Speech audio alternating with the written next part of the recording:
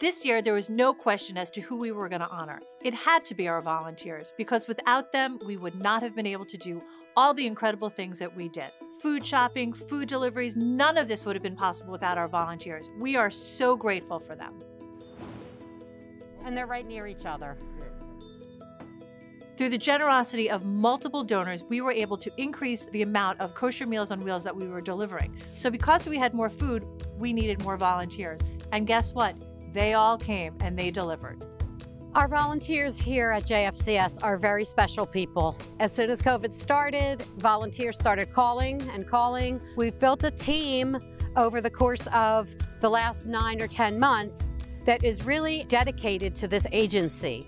There are times when you need a hand, and there are times when you lend a hand. And we feel we're in a position to lend a hand. I've gotten to know the people on my route so they know me. We see such big, warm smiles. And I really feel privileged to be able to give back to such a great organization. Our volunteers are caring, committed, and proud to be out there as a JFCS ambassador. Thank you, JFCS, for making a difference in the community. Bags, bags, and more bags of food. We have so many bags being packed, not just for the mobile food pantry, but for our very own brick and mortar pantry as well. Hi, my name is Barry Brittman. I've been volunteering about three years for JFCS. Volunteering makes you feel warm. I love the feeling I get after I volunteer. This is a great organization. Well as a uh, soap can go into each bag. JFCS has really upped their game in terms of the types of products and the quality of food that we're giving out to the families who are in need. We'll do five apples per bag. When I started packing bags, there might have been about a dozen different things that we put in there, and now we're up to 20 or 30. What's been amazing to me throughout this whole pandemic is that people want to make a difference and to feed people. So we've been incredibly fortunate to be the beneficiary of many food drives that have happened. And they're happening because everybody in the community wants to help.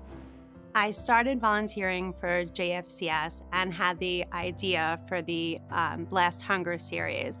I wanted the opportunity for donation and doing good in our community to be accessible to everyone. The response that I got was tremendous. You can donate at a small level and we can make it up in volume together.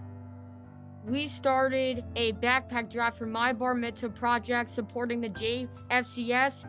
We are so proud of what we accomplished during the backpack drive. With the support with our family and friends, we provided 200 plus backpacks. For my bar mitzvah project, we collected enough food to feed 20 families at a local preschool for Thanksgiving.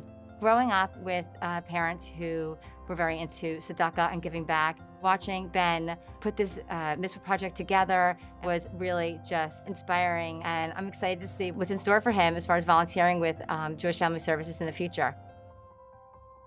I want to thank all of our volunteers from the bottom of my heart Without you, we couldn't do half of the things that we are able to accomplish. So thank you. Now, if you don't think that you can volunteer, you're wrong because there is something for everybody to do.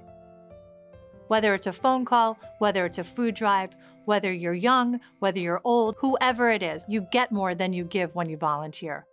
JFCS has inspired me to volunteer throughout my entire life. I'm so proud of him.